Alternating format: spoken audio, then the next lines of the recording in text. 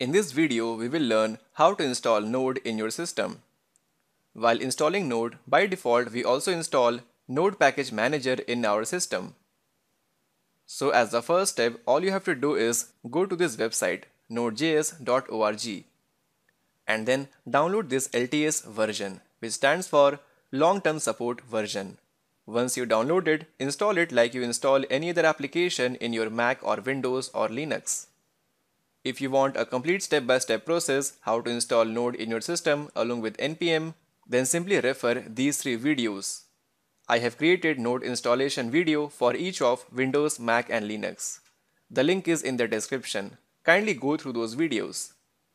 Once you install Node, open your terminal if you are on Mac or open your command prompt if you are on Windows and then type node space minus v to check what is the version of Node. So this is my version. In your case, the version might vary. So in that case, don't worry about it. Also check for npm version. It should show you some version. So once these commands are working, you are good to go with the next video, where we will create our first node application. So see you there.